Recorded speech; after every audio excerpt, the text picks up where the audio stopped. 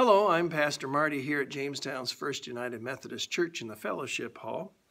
Our song today is another one that ends the night or ends the day. Uh, words by John Ellerton and music by Clement Scholefield. The day thou gavest, Lord, is ended. The day thou gavest, Lord, is ended.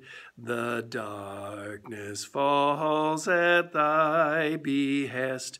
To thee our morning hymns ascended. Thy praise shall hallow now our rest.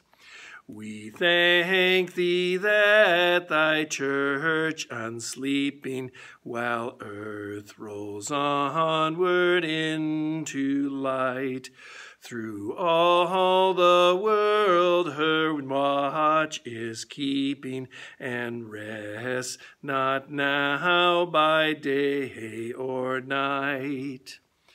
As o'er each continent and island the dawn leads on another day, the voice of prayer is never silent, nor die the strains of praise away.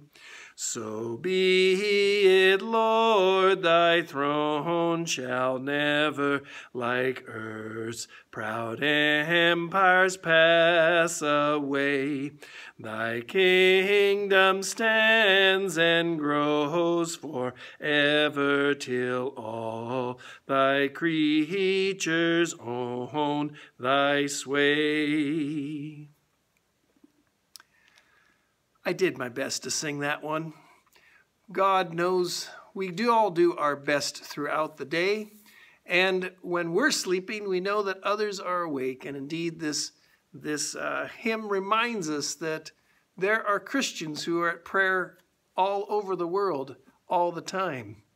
It's not just five o'clock somewhere, it's prayer time somewhere. God be with you.